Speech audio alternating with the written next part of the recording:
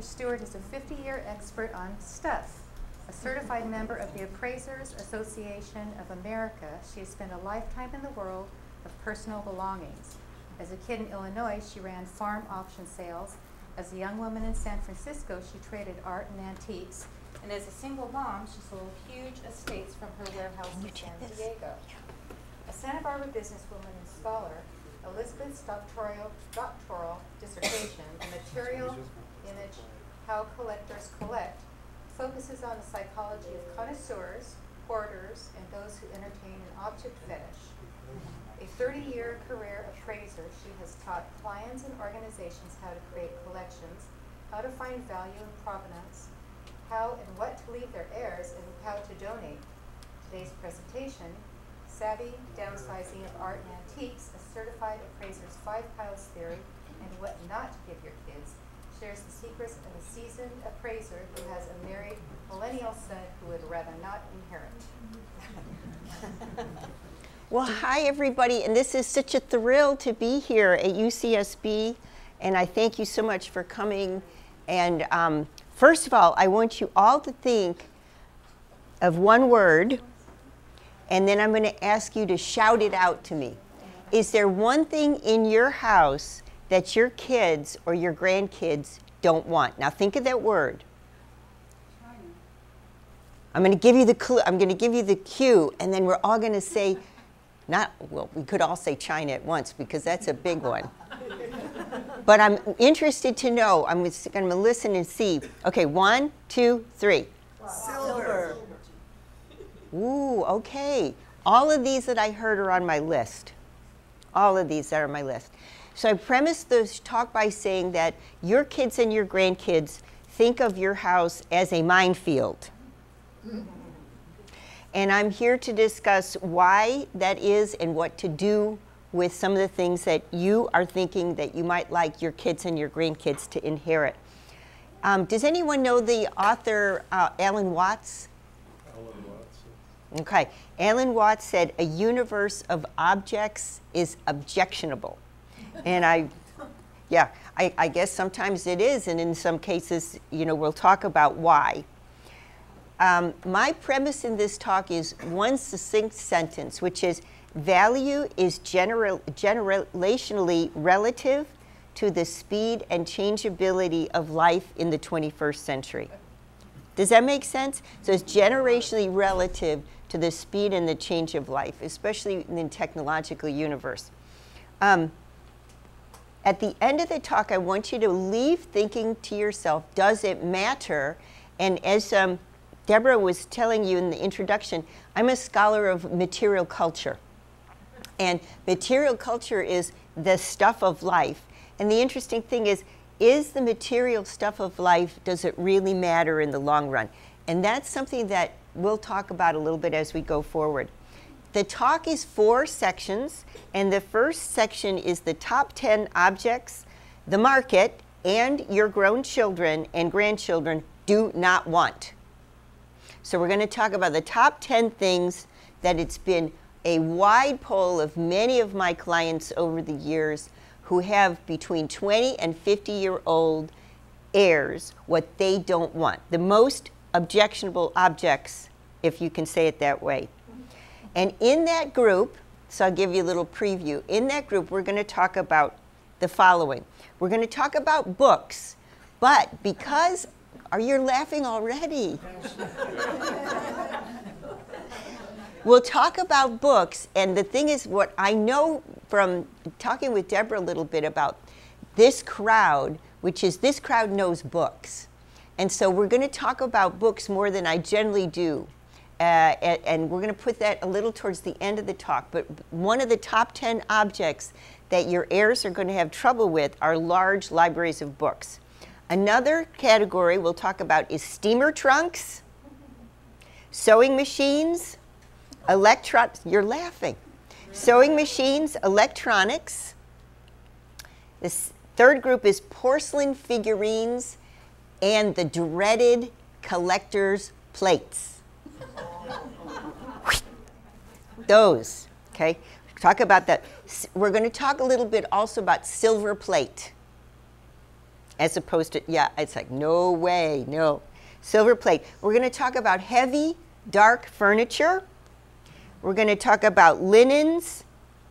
Linens. Everybody's got them. Linens. We're going to talk about sterling silver flatware and crystal or glass wine services. We're going to talk about photos and paper ephemera. Does everybody know what ephemera means? Yeah, it's the paper collectibles, for example, advertising and anything old graphics, etc. So photos and paper ephemera. How many of you have family photos in the house? Oh my God. Everybody here. We'll talk about that and we're going to talk about China, formal China. Okay. So the general guidance on household collections is, and Deborah asked me to talk a little bit about this regards her family. But the general guidance I can offer you is many of your, your kids and grandkids will inherit these things and then they'll say, let's give it to Goodwill, let's you do a garage sale, and they won't know what those objects are truly worth or what they meant to you. So I have two suggestions for you. Number one is get someone like John who's very used to doing a video either on your smartphone or a formal camera, etc and go around your house and have somebody like John video you talking about your objects as you go around your house. And then you're going to make a CD, for example, for your kids or your heirs of you talking about those objects. And what that's called in my language is provenance. So you're going to talk about where those objects came from, if they're from your grandmother, what you think they're worth, et cetera, et cetera. You're also going to get somebody who is good with a still camera to take still pictures. Now there's a method to my madness. Why are you saying, well, I need a video and I need a, a bunch of still pictures? Because if you've got more than one child or grandchild, what you can do is send them the video, but send them the still pictures as well and say, go through the still pictures and send back the things you want. After you look, looked at your video and look, they have the still pictures as a file. And I think you'll find it's really helpful. Why? Because everybody younger than, say, uh, 50 years old has been brought up on visual imagery. So all the talk and the description and the letters that you might write won't have the same impact as those still pictures. So those are that's my my big suggestion for you today to approach the millennial generation with visual visual images. Why? Because that's their language. And after I talk about the top 10 here, we're going to discuss um, more about downsizing hints. That's the second section of my talk, which is going to be called Elizabeth's Five Pile Downsizing Hints. The third section of my talk, I'm going to show you actual people in families where, that have come into our office with major problems about those top 10 objects I just told you about, of which China is one and paper is the other, etc. So I'm going to give you actual case studies about that. Uh, so books. Oh, and by the way, all these photos John took, and these are mostly, mostly things that I own. And by the way, I have a 30-year-old son who doesn't want any of them. so books. Now, my hint for books is that this will not be a surprise to anyone in this room. But the more specific your field, the more valuable they might be. And what I'm saying is, for example, I did an appraisal for a professor here who studied a specific language that was only spoken on one island off of Japan. And he had a huge library about that language it was very valuable because the field was very narrow. And we were able to target those two professors who actually were studying that somewhere on the East Coast. So what I mean is your general books, you know, like here I have Shelley's poems, for example, they're not going to be worth that much. And by the way, let me give you another hint, and I know we have a librarian here. Several. Several librarians here. First editions are deceiving because if you see a book that's marked first edition, it may not be a first edition. It may be a reprint. Why is that? Because if you're going to have more than one edition, you don't know that when you're writing your first edition. You so so when you see first edition, you have to sort of let me look at that. My advice for books is if you have a library. Uh, this is a professor friend of mine. He studies neocolonial anthropology, and his whole library is devoted to that. This is another professor friend of mine, and she studies the camera obscura in Dutch paintings of the 17th century. Her library is all devoted to that. Oh, I'm, too, I'm going too fast. I'm into steamer trunks. So, what I mean about books is the narrower the subject, the more targeted your market could be if you're trying to get rid of books. Second category, we did books. Now, steamer trunks. How many of you have a hope chest or a steamer trunk in the house? A lot of people. I got something to tell you. This is a news flash. Your kids don't want them, and on the market, they're worth about $100 each. These are two of mine. This is huge. So that's the garage door in our house. That steamer trunk is about so high, it opens with all of the drawers and the, you know, and it's a beautiful thing, but you can't really sell it. Nobody really needs them. Nobody wants them. This is a leather uh, steamer trunk, beautiful, from the um, 1890s. Nobody really wants those. And every family has at least one. How many of you have sewing machines? Whoa. Whoa. Everybody's got a sewing machine. Now, you think they're valuable, and the ones that are not valuable are all of them. And the ones that are the very least valuable are the ones that you pump, and everybody shows me those. First thing I go in their house, like, look at this old treadle sewing machine, how valuable it must be. No, they're just not. Sewing machines and old electronic stuff. Oh, yes, the steamer trunks. That's mine. That's yours? Yeah. I snuck into your house, I took that picture. Or John did. But it's empty. Uh, part of the category here is old electronic stuff. Now, there's some exceptions, and that's the grandson or granddaughter who's a nerd. And they may like, they actually may, may like this stuff. Here's an example of what a nerd might like. This is an old organ. It's one of those portable church organs. For the most part, they are very, they're not worth very much on the market at all. Okay, porcelain figurines, unless they're Hutschenreuther, Meissen, Dresden, etc., they're not worth anything. For example, the things that aren't worth anything, Hummels, precious moments. Does anyone know what those are? That's a good thing if you don't. Yeah. Any kind of porcelain that isn't really high, high end, it's not a popular thing on the market. And they're very difficult to sell. Not a lot of market there. What I do for clients is if they've got a collection, you know the mom who has the trailer and she's got that bay window and she's got like 90 million frogs. do you know the person I'm talking about? Oh, yeah. What I suggested to her son when he was downsizing for her is to take all those frogs and give them to a nursing home for gift exchange.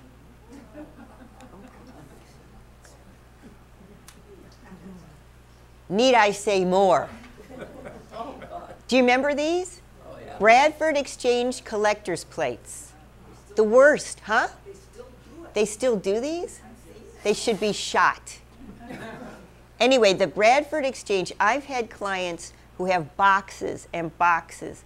And you know they're beautiful themes. The themes are famous ballerinas, fairy stories, Princess Di. You've seen those, right? That those Norman Rockwell series. And they are worth absolutely nothing. This is thing for a gift exchange for the nursing home.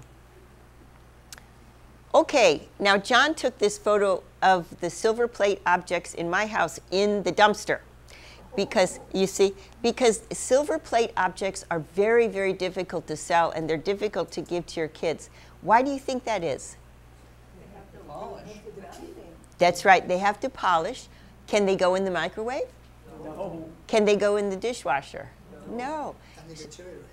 And they deteriorate. And they deteriorate especially if you wrap them like I used to do in dry cleaning bags, you know, because the polycarbonate mixes with the silver and you get something that Do we have that picture, John? Like two or three. Yeah. down. These are some of the, um, the you know, we're going to talk, you know, silver plate's different from sterling, right? So silver plate has a coating of silver. Sterling is, is 925 parts silver over a thousand. So th- this is all silver plate. People have tons of this, tons and tons. And it's just not worth much. And this is an example of how these things get when they're actually wrapped in plastic. Oh, Yeah, and once they're that far gone, they're just you have to throw them out. So silver plate, Melted down. they melt. Yeah, it melt. It, it just like this black coating on it. you can't put them close to eggs. Pardon? You can't put silver close to eggs. Oh, that's an that's another. He says you can't put silver close to eggs. I had a client who had a beautiful set of silver, and she said, "I want to give it to my granddaughter." And I called her granddaughter. I said, "You know, your your grandmother's going to give you this set of silver," and she said, "I don't want it. I can't eat boiled eggs. I can't eat my soft-boiled eggs. Have you tried? Have you tried eating soft-boiled eggs with sterling?" Chemical reactions, very bad. Okay, so this is another category heavy dark furniture. Heavy dark furniture, this is a sideboard. Uh, the sideboard is the worst of all heavy dark furniture because, of course, what do you do with the sideboard? I'll tell you what you do with the sideboard. You put your formal china here and you put your sterling there. That's what you do with the sideboard. Now, we're going to talk about formal china and sterling, but sideboards, for example, very difficult in the marketplace. Anything with a lot of carving and a lot of excess stuff to clean is really distasteful to the millennial group. They don't want, well, they don't want heavy dark furniture. Here's another example of furniture. This is in my house. My son likes it, but he wouldn't take it because he said to me, What do I do with it? It's not utilitarian. And may I introduce to you that there's a concept of value that's different from worth. And some of those, like I just mentioned the word utilitarian, ease of use, ease of cleaning, adaptability, lightness if in a, in a move, for example. So there's a lot of furniture that will not work for the millennials because they don't have those sorts of values. And this is a beautiful piece. This, this is an aesthetic movement piece by Herter Brothers. It's dating 1880, 1890. Uh, wonderful piece, but you know what? What do people do with these th- with these things? So this is difficult to sell on the market, and your kids don't want it. Persian rugs, textiles, and uh, all kinds of Persian and ethnic textiles. Textiles, very difficult. And people ask me why. Why are they so difficult? I will tell you why. They always are multicolored, and they're not Zen. My daughter-in-law says to me, uh, "I want a Zen-like atmosphere in the house." So she wants kind of muted colors. Usually Persian rugs are anything but. Now with Persian rugs, remember I said books takes an expert? Persian rugs take an expert too because you can have the most beat up looking Persian rug and it's probably the most valuable piece in the house because uh, condition doesn't really matter with rugs because rugs were designed to be rugs. So Persian rugs, you need to call me or call a Persian rug expert.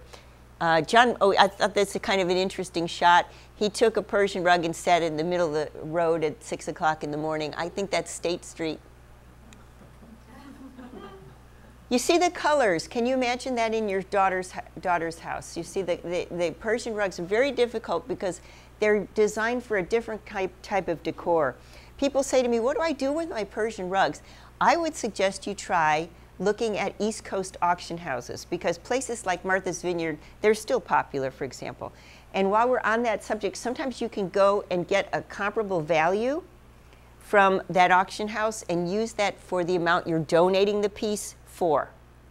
And we can talk about that a little bit about donations. But Persian rugs needs an expert, good thing to donate.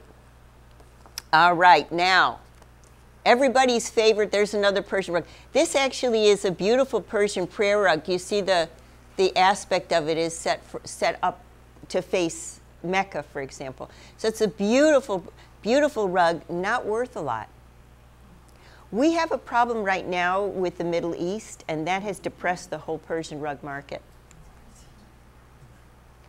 Okay. Aren't these lovely? So you have the day of the week dish towels. You can't live without these. I'm telling you, you've got to have these. How about the his and her embroidered pillowcases? Can you live without those? No. The linen napkins. Now, do you think your daughter in law wants those? No. Do you think your daughter in law has an ironing board? do you think your daughter in law has an iron? Do you think your son does? This is a very difficult field to get rid, to unload. Very difficult field to unload. Linens. Here's a client's linen closet. All these are beautiful linens. They're all linen linen, most of them. You know, as, differ, as different from uh, cotton. There's linen linen.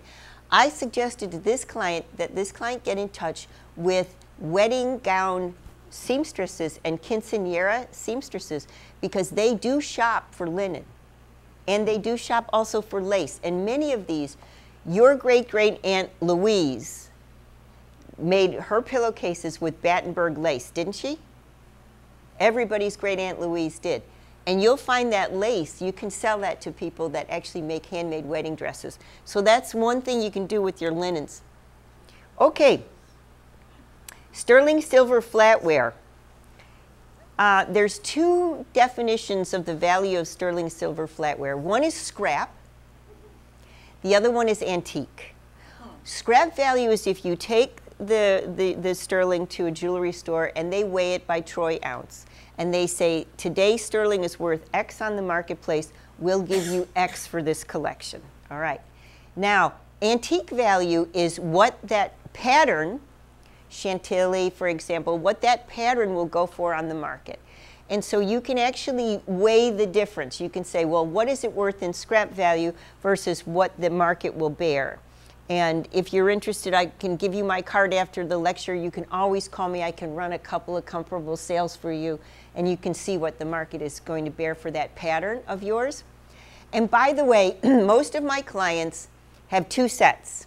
So one husband's parents had one set, one wife's parents had another set. Usually there's two sets of sterling. I'm getting yes nods over here. Yeah, oh yeah. We have two sets. So sterling is either antique value or meltdown value or scrap value. And I will give you a hint that sterling later than 1930s is not going to be worth as much as sterling pre 1930s. That's because the relief is different. The relief, what I mean is the etching in the in the the relief is better and the weight is better. The weight, it's heavier. So older sterling is better. This is my sterling. John took it out to the beach. Isn't that cool? Isn't that cool? Now, this is the um, stamp on mine. Mine is from my great grandmother in Germany, and this is German silver, so it's 800 parts silver over a thousand. It's another category, but still in the category of sterling. Oh, yeah, this is a client that wanted to sell the sterling. That's how much he didn't sell. All right. Along with uh, closely related to sterling is formal uh, sets of glassware. This started in the 1930s where cocktails were invented. I should say 1920s, 1930s. And cocktails were invented and there were forms for the cocktails. So you had a Manhattan glass, you had a rocks glass, you had a sours glass, etc. That all happened in the 20s and the 30s. And then all of a sudden people started to discover that it would be nice to have a whole set and so you got waters, red wines, white wines, and all the beverage sets. You got cordials, and you got these champagne glasses that maximize the surface area, so you had maximum bubbles up your nose. when I showed these, these are mine, when I showed these to my son, I said, Would you like these? These are great. He's like, Where's the flutes? this is a form that you cannot give to your grandkids, you can't give to your kids. It's a difficult form. This is a full set, a lot of pieces. I'd like to tell you I have 12 of each. No, I have eight white wines, I have five red wines, I have three waters, you know. Now, the other thing my daughter in law said to me is, no way, because this holds two sips of wine. They're little. And that's not your usual wine imbibing. kind of glass. Also, our wine glasses today have curved inward, so we're trying to capture the bouquet of the wine. This is just the wrong thing altogether. You'll find a lot of these sets at thrift stores, and you'll find them four pieces of this, five pieces of that, et cetera, et cetera. Okay, here's another client set, full set. All right, now our favorite thing in the world is formal china. Now, I have in my house a Thanksgiving service, I have a Christmas service, I have a luncheon service in Haviland, I have two dinner services. This is, here's my dinner service here. I bought this off of Cyd Charisse. Do you know Cyd Charisse? She was, she was a dancer. I bought this from her um, secretary. And this is Wedgwood, and it's expensive. It was expensive. Now I can sell the whole set for $200, $300. It's just not, why is it not popular? Do you know? Dishwasher, microwave, but the other thing is, your kids and grandkids, well, uh, my kids and grandkids, this is what they said. Do you think we want to get China out for one night of the year? What's the point?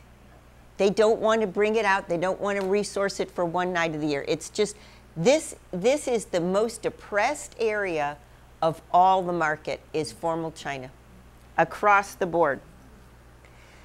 And finally, these are my family photos. Uh, let's see. There's me as, see, there's me as a baby. There's me in that puffy dress there. Uh, so, family photos, what do you do with those? Any hints? Put them on a CD. Yeah. I, I was going to say, you can scan them, but once you scan them, what do you do with them? what do you do with them once you scan them? Because it's your memories. I mean, someone said over here, put them on the street. But it's hard, isn't it? It's like, whoa, these are my family memories. So I have a, I have a few hints. See, there I am. I look the same. I'm shorter, yeah. yeah. My grandfather was a great one for Super 8. Beautiful photograph of photographs. My cousin Cecilia. Up, oh, too fast. So, what I would suggest with those is you can research greeting card companies that use really fun family photos and they will buy them. So once you scan them and you scan, you can scan your, your historical material. Did you notice the green stamps? Did you notice? Oh, okay, we'll have to go back and show you the green stamps. My mom was a huge green stamp collector. See, in the upper corner? green stamps and so you can scan all that and you know eh, give them and that's the, that's the best this lady said scan i would totally agree there's my mom all right so now comes the second part of the talk the five piles elizabeth's five pile theory of downsizing so i'll preface this by saying i know from whence i speak because I, i'm a little bit of a collector as you might think and I have a storage locker. When I opened the storage locker 10 years ago, it was $95 a month. Nine years later, it was $350 a month. Do we have any mathemat- mathematicians in? Can I tell you it was over $20,000 in nine to 10 years in storage locker fees? And that is not uh, unheard of. And that's me, and I know how to downsize. So, but the thing is, with a storage locker, what I discovered, I went and tackled this storage locker that had a lot of memories. and I thought to myself, this is going to be easy because I counsel people all day long how to get rid of things, where to sell them, etc. And what I did was I said, okay, let me clean out part of the house because I'll move some of the storage locker stuff in the house. Bad idea because what you're doing is just shifting stuff around. You right? You. So what I developed was my five pile theories theory. And what my thought is that you start with your first pile, not literally a pile, but you start with your first category. So the, if you can think of this as a typology, you start with your first category being the stuff that is really worth researching. And I give you an example. Here's stuff, you can see how big these things are. These are big French advertising posters. They belong to me, they're huge. This is stuff that's really worth researching because on the market, these are 2000 and up. So now once you start to know how markets work in material and objects, you're like, okay, now I got it. I know how to research because there's a lot of research available on such things. Good paintings is another thing to start with. Start with learning how to research the best you have. Do you want to sell? Once you find out the value, you might decide, yes, I do want to sell. So learn how to research the best you have.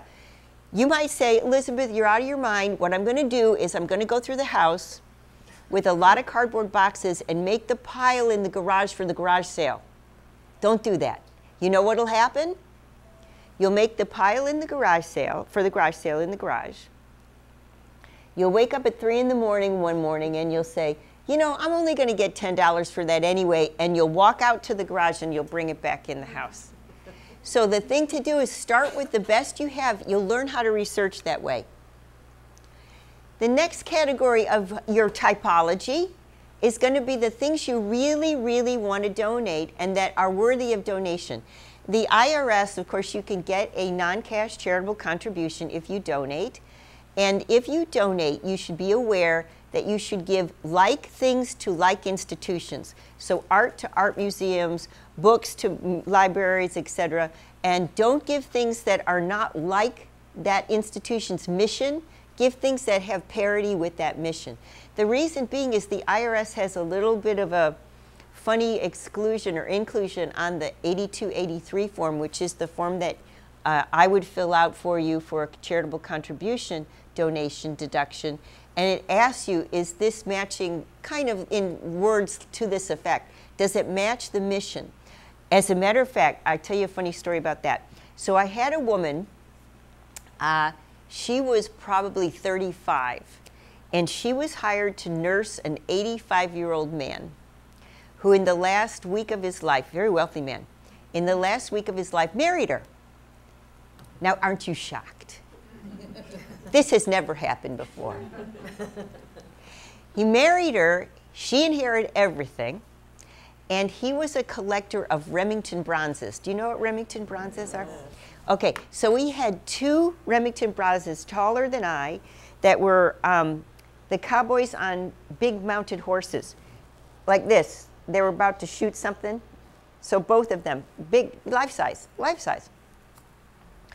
And after she had uh, inherited all this money in this big house in Montecito, she said, okay, let me give to the charity I most have a heart for. What was that charity? It was the Battered Women's Shelter. She tried to give two Remington bronzes.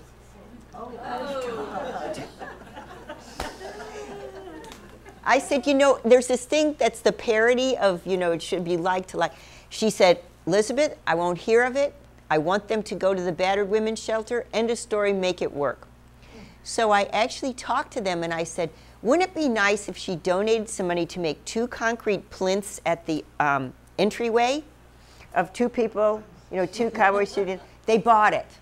They said, yeah, great, let's do it. So there, there is a battered women's shelter, not in Santa Barbara, but I can't tell you where, with two Remington bronzes guarding the entry door. If you remember, like things go to like organizations, and when you do a donation, you should be thinking about whether or not the object is ever going to be shown. So I always tell people that come to me and say, I, re- I really want to give it to the Met, or I want to give it to LACMA. You know where it's going to end up? Basement. Basement. If you give it to the smaller museums, you have a much better chance of it actually being enjoyed. So find donations. Next category, family jewels. Now, not necessarily, not necessarily your jewelry, but the family jewels could be your best paintings, the things you really want to stay in the family. And those, remember I talked to you about getting that video together? About your things that you want to stay in the family, tell your heirs what they are on that video so that they don't think, oh, it's just, oh, this is probably costume jewelry. As a matter of fact, this is mine. All this stuff is mine, and most of it I found in costume jewelry uh, boxes at thrift stores, and it's, it's not costume jewelry at all. But many people don't know how to tell the difference. So, you know, with jewelry, with fine paintings, with really important books, for example, talk about that on the video that you're going to give to your kids. And it may be something like, ah, you know, I've got four kids. I don't want, I just give the video to all four kids. And when the time comes, you can ask them what I call in our business equitable distribution. You can ask them to all pick something where it all balances value wise in the end. And usually you're going to need a professional, a lawyer, an appraiser to kind of walk you through that. But the family jewels are the, the pile that you should most document visually. And why is that important? It's important for two reasons. How many of you have insurance for appreciable merchandise? I'm not talking about depreciable. You have appreciable. One person, two, peop- two people in the room. Appreciable merchandise is different from depreciable. Depreciable means the Herculon sofa, the computer, stuff that goes down in value. Appreciable means going up in value over the years. That is the stuff that's going to increase good paintings, good jewelry, good books, etc., rare books, I should say. Very few of my clients have ever photographed or videoed their best things that they want their heirs to inherit. And while you're doing the um, five piles theory, if you're downsizing, a great time to get someone like John to come over and just do a whole sweep of those things. Give the CD to your insurance agent and say, by the way, I know these are appreciable. Why do I say that to you? Because I was expert witness in many cases over the fires that we had. And the insurance companies, which by the way have the tallest building in any given town, insurance companies like to say, well, she never said it was appreciable. And guess what they'll do? They- They'll take depreciation. Now that hurts if you've got a, Chip, a Chippendale sofa from 1770, because it depreciates to about five dollars. So, so the thing is, if you make when you do your video like this, you mention, say, "This I know will go up in value," and give it to your insurance agent as well as your kids, and ask your insurance agent, "Don't you think it's time that we just put a rider? You know what a rider is? R-I-D-E-R, rider coverage with your homeowners. Really worth it. Have I done it? No. Now, now, your keepers. Things that you're moving to your new place or things that you know you like so much that you have to have them. I, this is my um, glass collection, and these are the candlesticks that my son had on his altar when he was married. And these sorts of things I will never get rid of because I just love them. And I know these are my keepers as regards my keepers, uh, I need to give my own advice, and I need to actually video these and photograph these as well, which I haven't done. But this is these are my keepers, and I would suggest you do that if you're going to be moving to a new footprint of a house. It's very important that you take photographs of these things so that you can bring those photographs to your new place. Why? I'll tell you. Exactly. It may not work. The quality of light, especially in Santa Barbara, changes from the Riviera to the beach. The light is so different. And um, this lady was asking me, wow, did you see that huge, great big taxidermy moose head that I was appraising? Why did it end up here? Well, they had a house in Colorado. It looked great in Colorado. It looked terrible on the beach here. Quality of light. So it's important to, to with your keepers, you know, if you're really good with the computer, you can get a CAD system where you can lay out your new house and see how the proportions work. But every new space is a different quality of light, and you're going to find some of your stuff that you loved is going to look terrible in the new house. So it's a good test market. And finally, this is what I call your piddly smalls. And I know we've got one British gentleman here, so you know what piddly is. Yeah, it's piddly is kind of your piddly smalls. Your piddly smalls are what goes in the garage. And this is what you're going to earmark for garage sale.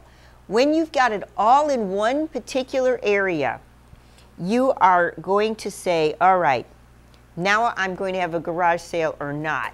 My suggestion is don't bother. Don't bother having a garage sale.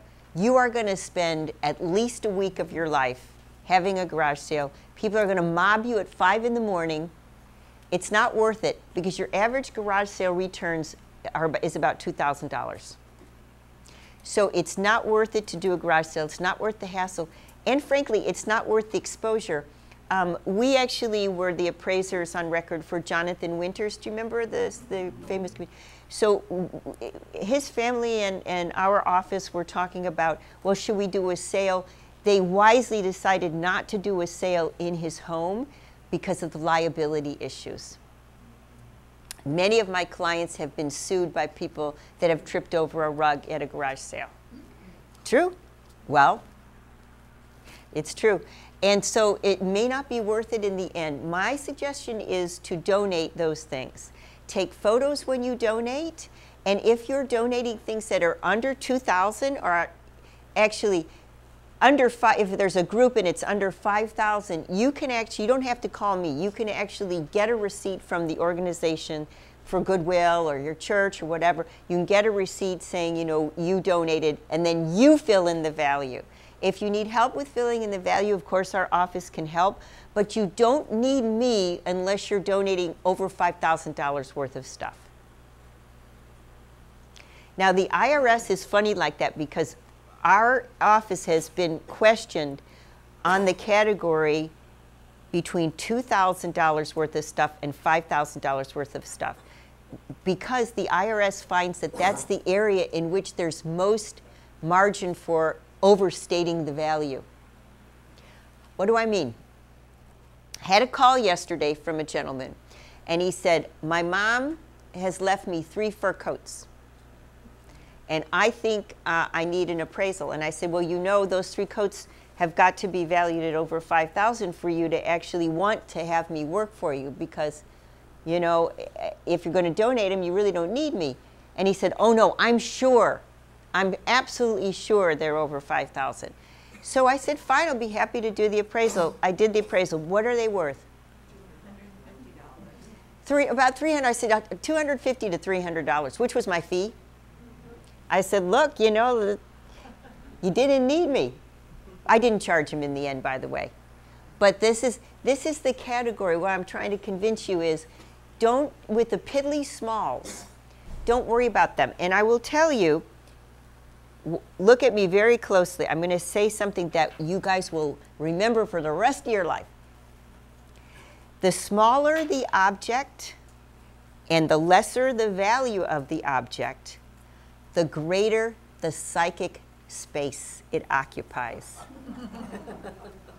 very true. I've been doing this such a long time. It's not the big stuff. Can you imagine how long does it take for you to buy a new car? versus get rid of that ceramic chicken that Aunt Mabel left you. Whole different scenario. Now, the third part of our lecture, the piddly smalls, third part of our lecture, remember I promised you some case studies. So I would like for you to meet Brooke's mom. She's at the door of her house, and she is going to be talking to Brooke and Tony, her grandchildren, about her fine china.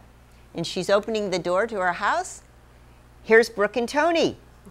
Brooke and Tony, uh, you know, they have their uh, Airstream trailer there, and they're going to go through the China, and I'm going to help them go through the China. So here I am. I'm helping them go through the China.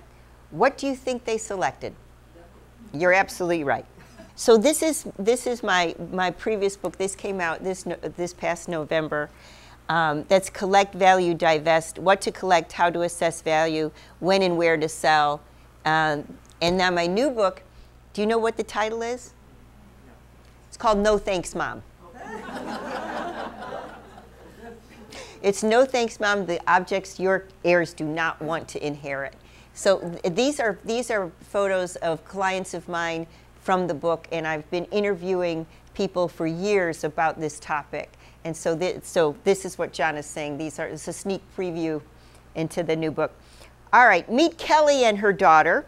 Now, Kelly and her daughter live on a very fashionable street in Brooklyn.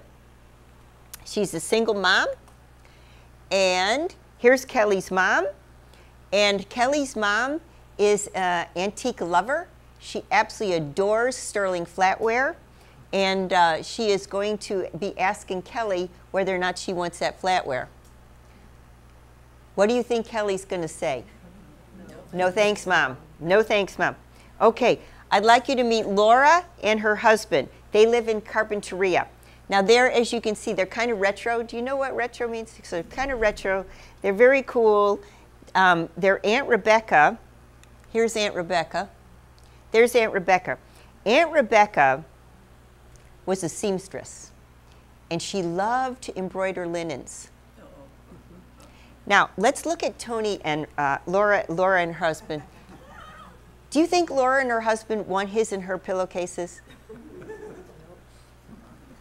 They do want the cocktail napkins, the ones with a little rooster on them that says one more drink. You know, they want those.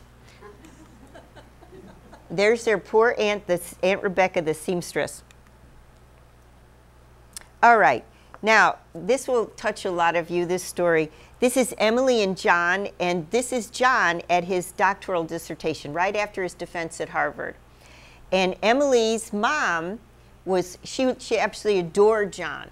And Emily's mom turned the house that they had grown up in uh, to a bed and breakfast to support John getting his doctorate. And so here's the mom. This is Emily's mom. And on this sideboard, because it was a bed and breakfast for years, she served breakfast to help John out in grad school. All right. Now, John's just gotten a job at Berkeley, his first teaching job. And um, do you think he wants the sideboard? At Berkeley? No. All right, now, do you remember we talked about silver plate?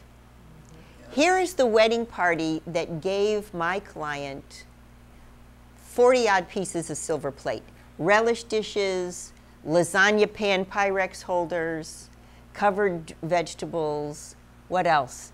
Tea sets, uh, gravy boats, trays. Oh, a lot of trays. What else in, in silver plate? Can you think of anything else? Oh, um, cranberry jelly pots. Oh, serving pieces, sugar, sugar and creamer. What else in, in service? Salt and pepper. And by the way, the salt's going to be destroyed because the salt inside. Yeah. All right. Anyway, so this is the wedding party that gave my client over 50 pieces of silver plate. All right. Now, the, the, the woman who was married at this time, her name was Nell. And Nell decided that it wouldn't it be fun to polish up all the silver plate from 1960 something and use it in her daughter's wedding. And here's her daughter. That's Mari. Okay. That's Mari. And she invited Mari uh, and Mari's intended over to the house to discuss the uh, wedding shower. And she said, I'm going to be polishing up 50 pieces of, stir, of silver plate for you. It's going to be gorgeous. The buffet table will be gorgeous. Fantastic. So here's Mari's um, future wife. So there's Mari's wife. And Mari and Louise decided to say absolutely no. Our lifestyle is not such that we want to entertain on silver plate. And by the way, we are actually moving, big surprise. They're telling now we are moving to a trailer. We are going to be traveling the country for a couple of years. We don't want 50 pieces of silver plate. All right. Now, meet Randy's mom. Randy's mom loved porcelain figurines. She had a ton of porcelain figurines. She also had a lot of collector plates. And she lived in a double wide in Santa Paula. Uh, and I met her there. We looked at her figurines. She treasured every last one of them. And here is her son. There's one of the collector's plates there. The son here is explaining to me what the heck do I do with these? And he just didn't want them. He didn't know what to do with them. He very carefully was downsizing all the collector's plates. And in the end, I said, just let's take them together. We'll take them to a nursing home. But he happened to be quite a good photographer. He had an expensive camera in the car with him that day. And he said, you know, before I give them away, I'm going to take some really interesting photos. So he kept the photos to remember his mom by. So that was a way that he actually, you know, he was actually able to remember her collection in a respectful way. Okay, now I want you to meet Ellie's great grandparents. These are Ellie's, no, great great grandparents. They owned a steamer trunk in 1889. Now, here's Ellie's grandmother. Ellie's grandmother wants that wants Ellie to have the steamer trunk. Now, a little bit about Ellie. Ellie's a student nurse. She just finished her training at City College, and she's got her first position at Cook County Hospital in New York, in um, Chicago. She found a place on the 18th floor of a high-rise in Chicago. Here's Ellie. Do you think she wants the steamer trunk? There's Ellie. Do you think she wants the steamer trunk? No. All right. Now, this is Joan and her husband in 1970, and um, she actually inherited from her mom boxes and boxes of, of photos, lots of photos. He inherited from his mom boxes of photos. Between them, they had five huge boxes of family photos. They were earmarked for Joan's brother David. Now, Joan's brother David is one of these people. Here's David. David's a folk guitarist in Ventura. And uh, David is one of these people that likes historical instruments, and so Joan thought, okay, he's probably going to want the um, the family, the family photos. Uh, he doesn't want them. He wants them scanned. But before Joan scanned them, what she did was she went through the whole box, and that's that's actually me looking with her at some of her class photos. She decided to scan them and give them to her brother that way. So here we have Mary's grandmother, whose great uncle collected Persian rugs in the Raj years. So he was in India in the Raj years. He collected Persian rugs. He'd go uh, go you know, on his, his weekends and he'd collect. He collected thousands of pieces of Persian rugs. Now this is this is her daughter, and you see her house has some of the Persian rugs, and now her sister and her husband have other Persian rugs. And now, what is the, um, the situation is that there's a young woman in the family, and here she is. This is Mary, and Mary is in Raleigh, Durham. She's working on her PhD at Duke, and she's in Raleigh, Durham. She's restoring an old North Carolina farmhouse, and she wants it peaceful. She wants the floors unfinished. She wants everything very sparse and farmhousey and clean and does she want the Persian rugs? Now, here's something we talked about before. This is Nancy. She's the artist daughter. There's Nancy. That's me with her baby and her husband. Nancy is the artist daughter of a professor from this university. I don't know if he's retired or not. But I'd like you to meet them. You met them once before. Here's Dr. Lizotte, and remember I told you with his French neoclass, uh, neo-colonialist archive. Here's Dr. Vandernoot with her uh, Dutch Camera Obscura archive. And here is her ancestor uh, who wants her to take his Russian photography and philosophy archive. Here he is. This is Dr. Wellington. Doesn't he look like a Russian uh, scout? Huh? He wants these people, he wants to give his Russian photography and philosophy to these folks. Do you think, uh, do you think that they'll accept his library? So I guess what I'm saying to you while I'm going through these really interesting case studies of families that I've known and worked with is that the object is the family and the family is the object unless it's not. You see? So maybe that's something you can take away. My final bit of my talk, and I thank you for your attention, is the 10 valuable habits of successful downsizers. And very quickly, I'm going to give you the 10 top hints for successful downsizing. If you're moving, it's the same as if you're lightening your load or giving to your heirs. What you're going to think to yourself is your objects don't define who you are to your kids. And, and a lot of times, I'm speaking from, um, I'm a past master of this because I tried to sneak attack my son with all these boxes that I'd send in the mail. And it's like, oh, mom just sent us a box. It doesn't work because I was trying to say, look, these things were important to me. They maybe should be important to you, but it's okay if they're not. And I learned that kind of the hard way. It really is okay if they're not. Objects don't define your worth, they don't define your essence. And uh, why that is is interesting. It's an interesting philosophical phenomenon because the idea about house and home has changed. And we are as much responsible in my generation as anyone else because I moved probably every couple of years. I had a number of partners through my life. I mean, there was no one particular home. And so my son doesn't have that same idea as I have with my grandmother's kitchen. He doesn't remember which kitchen reminds him best of home. You see, so that generation's idea of home has changed. And value is no longer, as we said before, simply worth.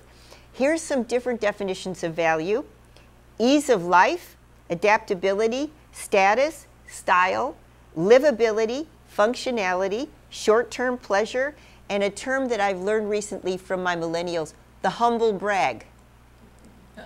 What is a humble brag?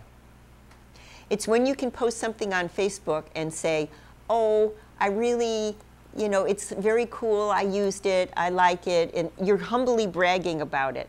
And there are not a lot of categories of objects that fall into the humble brag for the millennials. And for most of the humble brag, it's limited to technology. So you see, the humble brag is, is okay, downsizers. Number one, make a plan. They limit their work time and they give themselves rewards like a big glass of wine or a big pound of chocolate after the day is over.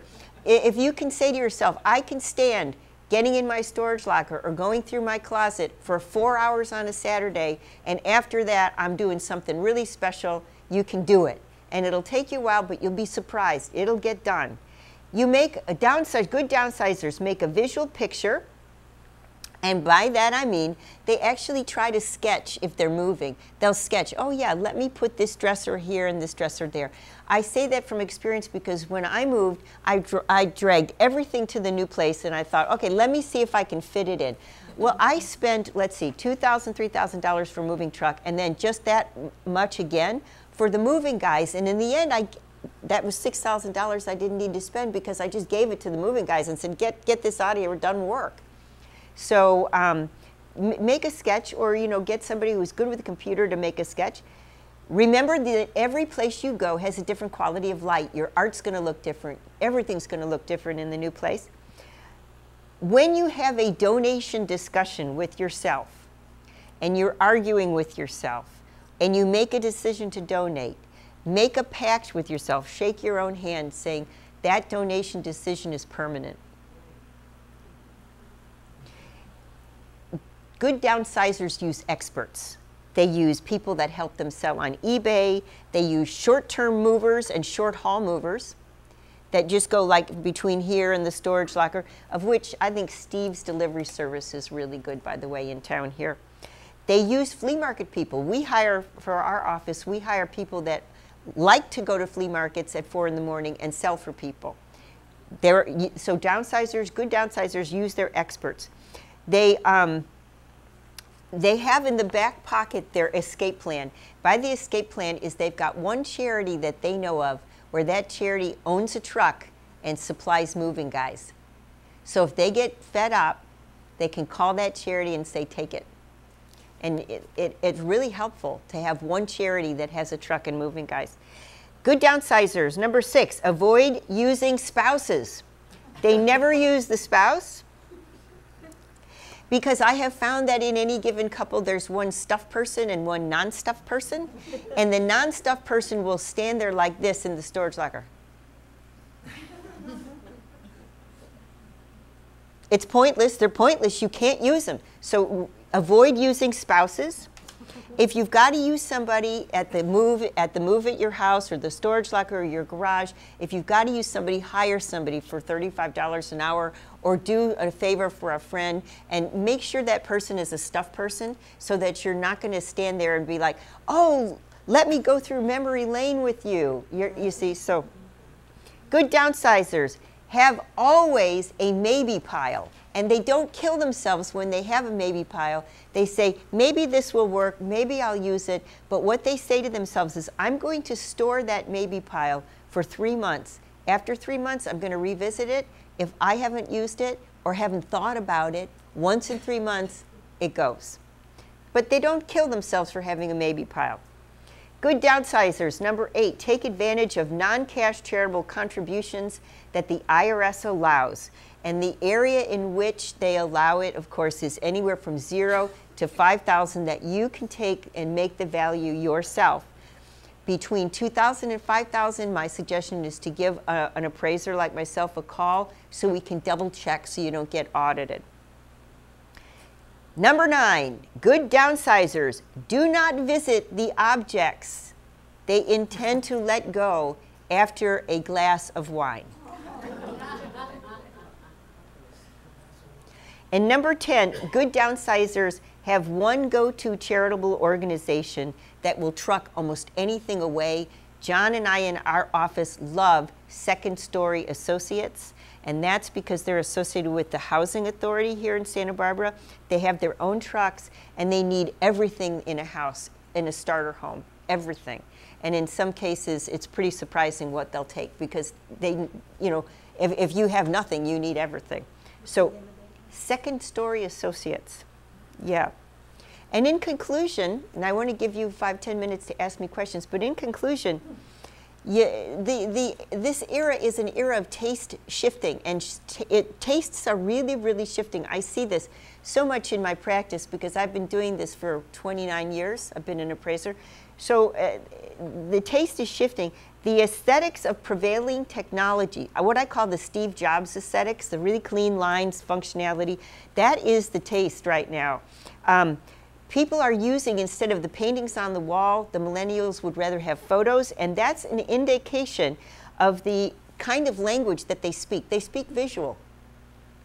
They don't speak narrative. So we don't want to hit them with a narrative history of here's this is your grandmother's blah blah. You want to show them pictures. Show them pictures. When you when your mom left her stuff to you you didn't have a choice in what she willed in her will to you did you she just left you things. It's different now. It's different. We're living longer. Our kids have the vet vetting option. Our kids and grandkids, uh, you know, have that vetting option of saying, no, I, I prefer not to have it. And you don't want to get into like a, an argument over stuff on, on that level anyway. And then finally, in conclusion, um, I mentioned this once before. One of the worst things, oh, do we have more storage lockers? One of the worst things you can do, uh, see, these are all different moves that John and I have helped with over the year, years. Um, many of these, those are my storage locker keys. And there's me saying thank you. uh, what I would suggest that you would not do is what I said before the sneak attack in the mail. Just the box wrapped up and sent to your kids. It, it just is, it will backfire every time. But anyway, I thank you for your kind attention, and it's been an honor to speak to UCSB. And I'm going to bow, and then I'm going to ask you if you have any questions for me. Thank you.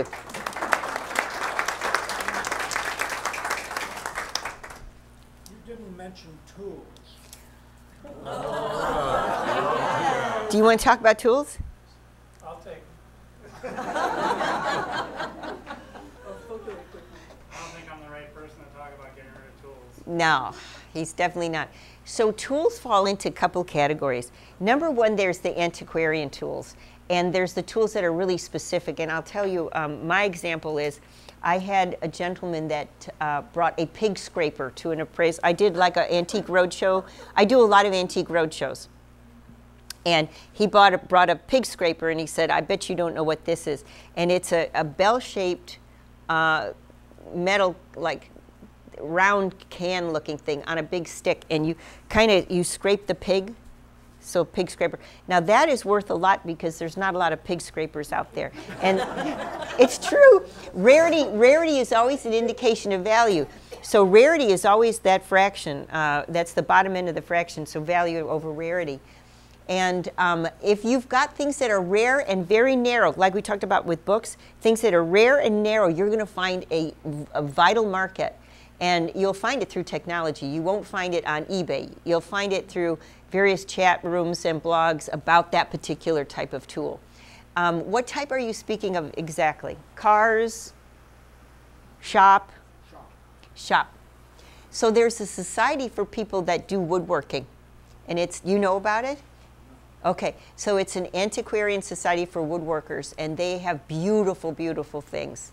And they talk about them in, in anything, the, I can tell you about things like tools and things very specific. We're talking about narrow market for a library.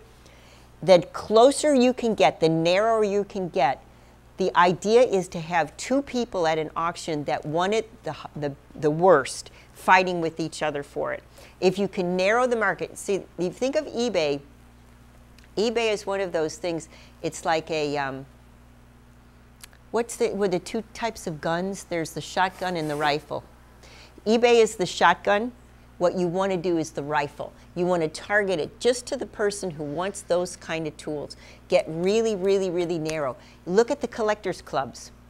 That's your best bet is to look at your collectors clubs um, that only collect Zippo lighters or only collect pig scrapers or only collect Martin ukuleles, for example.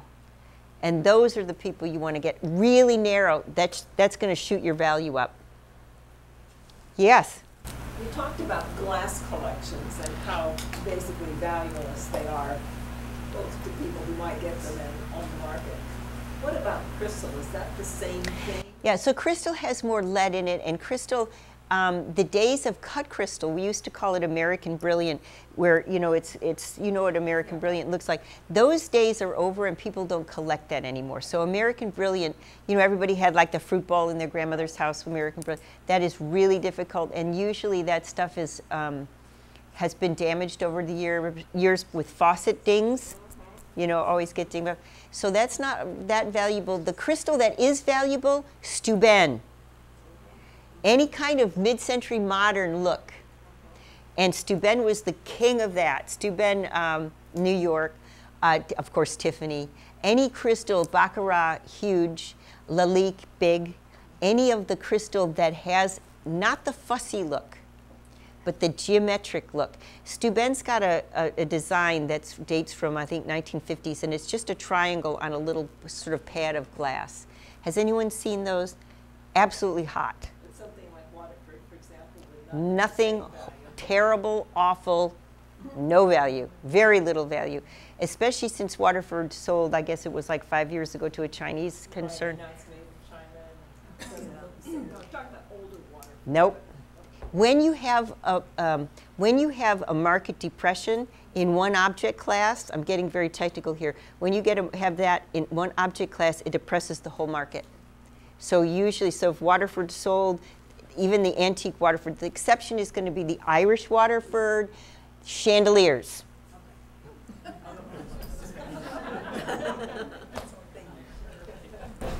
Um, something I learned, and this is not about getting any money for it, but um, I've stumbled across some things where um, I was a figure skater when I was younger, and I skated at Michigan State, who had Olympic skaters that skated there in the summer, and yeah. I had collected all these programs and everything. Cool.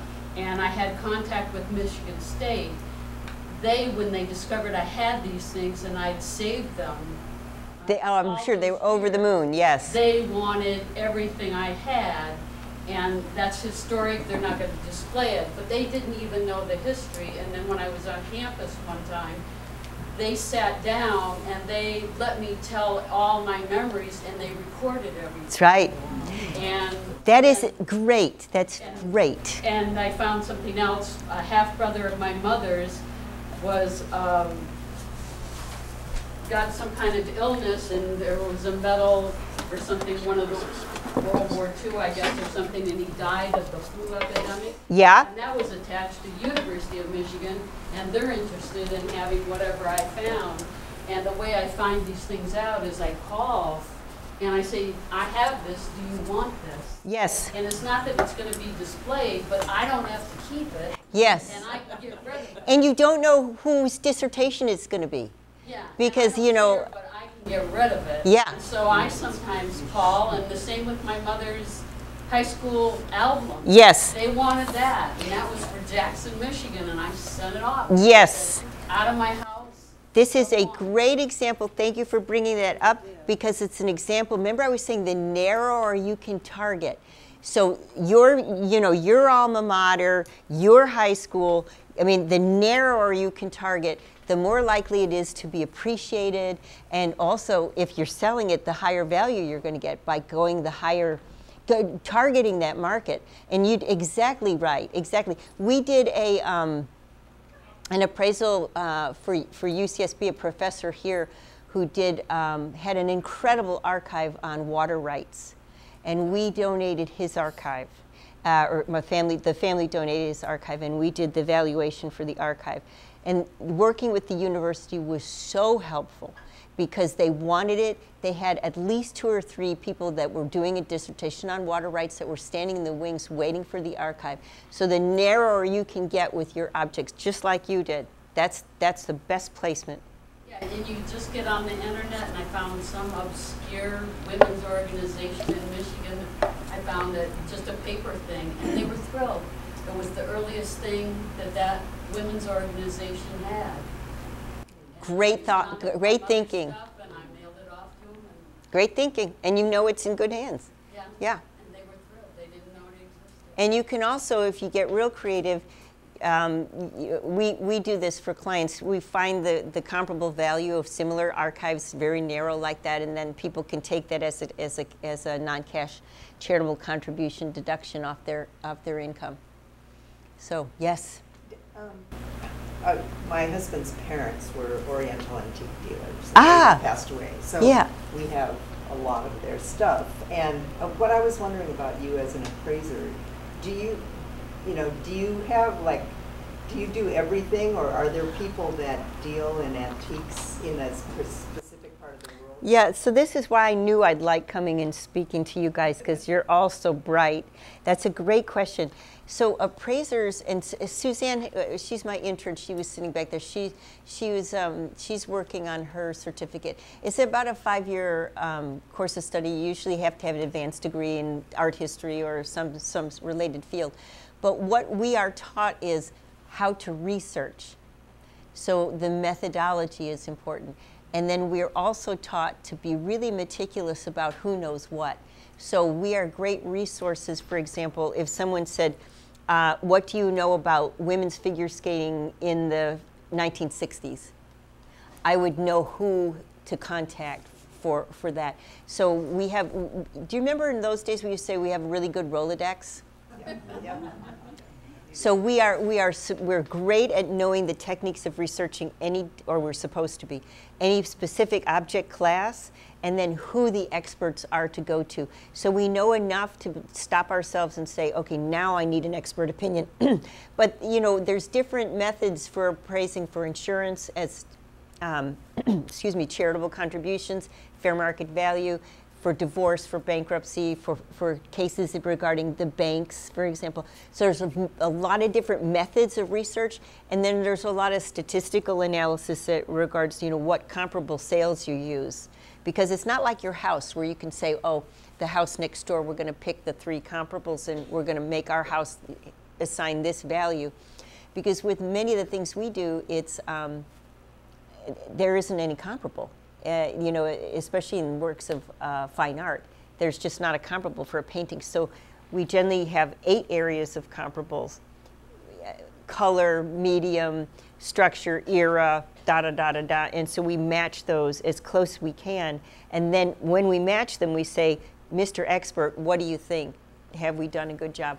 So um, we're not necessarily good at everything, but I feel like uh, what I've seen in this industry for, you know, almost 30 years, I can at least tell you who's the expert to go to. And, but the expert might not kn- know how to write to the IRS or how to write to the bank or how to write to the court, for example. And so how we do that is we structure for, for whatever, whatever job it is. Does that answer? Yes. Um, my mother-in-law was a concert harpist, and I have a harp sitting in my living room. I have no idea the value. It's, it's early 1900s. It's a Lyon Healy. It's full size, and I don't know. I, I need to get an evaluation of it. Do you do things like? Yes, we can definitely do that. Uh, once you get now, just if you don't mind asking or telling, once you get an evaluation, have you decided what you want to do with it? I'm trying to decide. I, I had thought about giving it to Westmont or, or music school, but it's my daughter is very attached to it, so I don't know.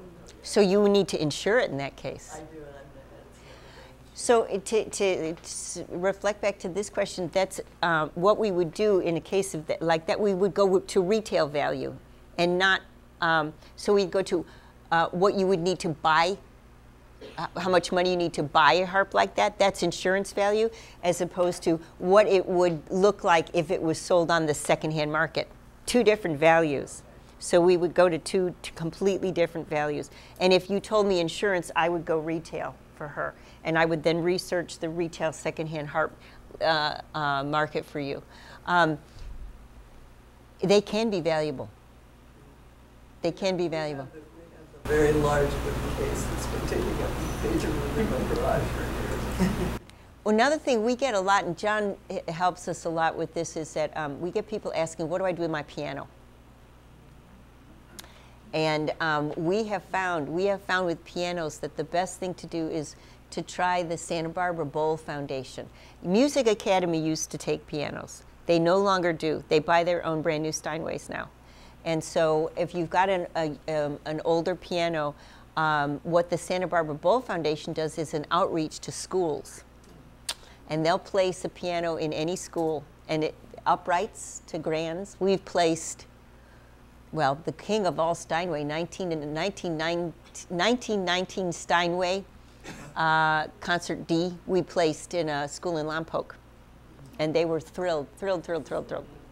So piano so music academy or, excuse me santa barbara bowl foundation is a good one for that yeah any other questions for me yes Do you have a list of places that, like, these resources that, um, is there a place where the list of resources?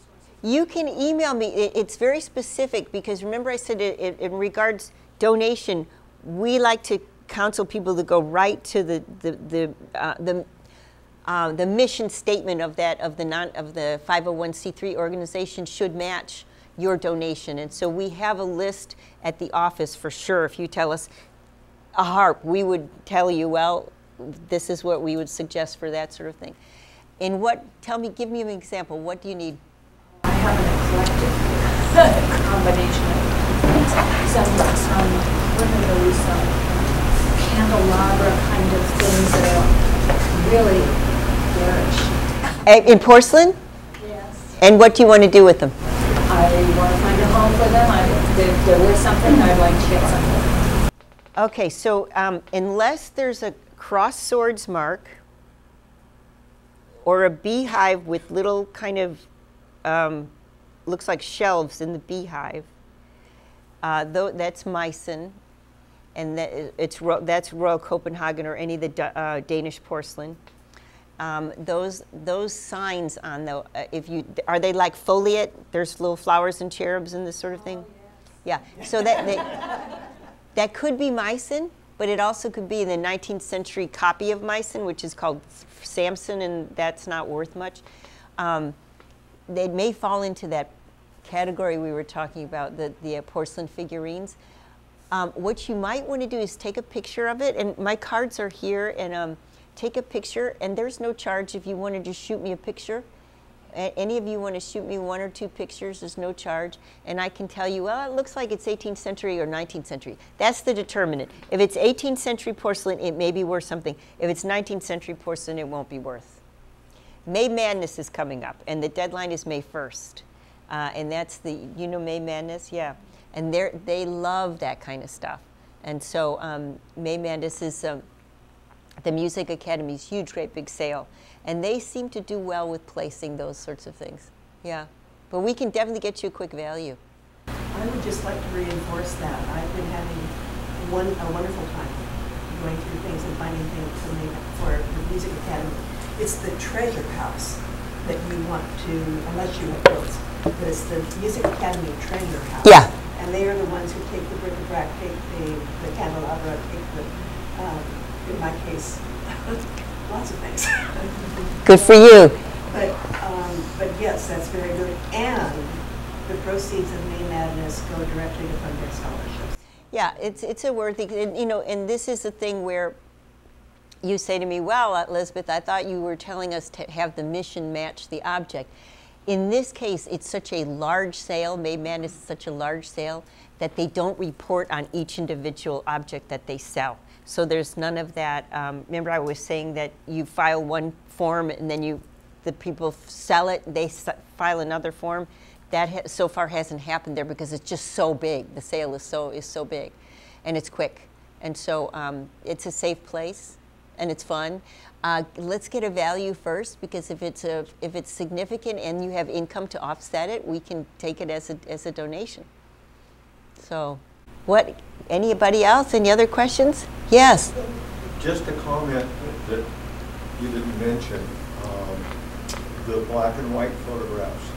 Color, once they're scanned, are worthless, but the black and white still have value because of the silver content. And depending on what the silver market is doing. Now, John, did you know that? to have the silver recovered. Ah. Now there's something for you to figure out. I'll check into that, thank you. Yeah, depending on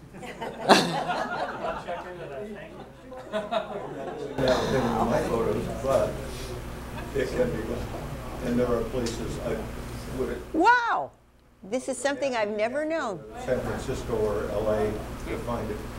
But it, and I don't know if they would actually pay for the photographs by the pound or if they would pay for them at all, but at least you're getting that silver out of the landfill. That makes a lot of sense when you think about silver nitrate and all that sort of stuff. That yeah, all right, we will definitely yes. And another thing related to photographs I've heard is that there are there are big houses down in Hollywood who actually, for movies, like really old photographs. That's right. Yeah, not the snapshots, but I mean, so one of the other. Right. So the collotypes, the daguerreotypes, the tintypes, all of those that class of, of photographs. Um, you know, so so classical photography really doesn't start till well, about 1880, 1890. So the stuff that you're talking about, absolutely. Um, movie houses and some historical societies as well. And people always ask me, how do I know if I have a valuable old photograph? You have a valuable old daguerreotype if there's a dead baby in it. I'm serious. Or if there's a celebrity, or if the daguerreotype has to do, for example, with the Civil War famous battle. And so it's key to the celebrity because people say, oh, must have been so rare. Not really. There were plenty of daguerreotypes out there in, in the Civil War era. So they're not that rare, but there was a genre of um, taking photos of the dead. And uh, they're, you know, um, still lifes of dead. I mean, really still. and those are worth quite a bit, and the babies are the, worth the most. And that was a tradition. Yeah. Isn't that strange? Yeah. Any other questions, comments? People were asking me how much my book is. It's $15 if you're interested, and it's also on Amazon. Uh, is it more on Amazon? Is it the same? Is it more on Amazon? Oh, no, I, well, you might have to pay for shipping. Okay, so it could be, I don't know. So it's around the same. But yeah, be happy to sell your book. And then, yeah, I'd love to keep in touch with you guys because I'd love for you to see what comes of um, No Thanks Mom. When that? I think three, four months. It's